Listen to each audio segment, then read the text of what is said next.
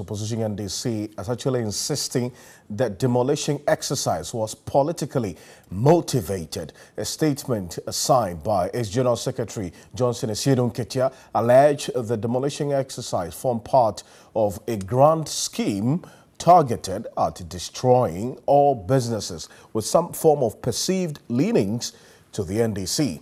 The Ghana Trade Fair Company on Sunday demolished properties of some tenants at the center in Accra to pave way for the redevelopment of the site. According to the company, its tenants were duly giving a mandatory six-month notice on July 10, 2018 to vacate the site. A statement the company issued on Tuesday said as of December 31, 2018, none of the businesses on the site had a valid tenancy agreement with the Ghana Trade Fair Company.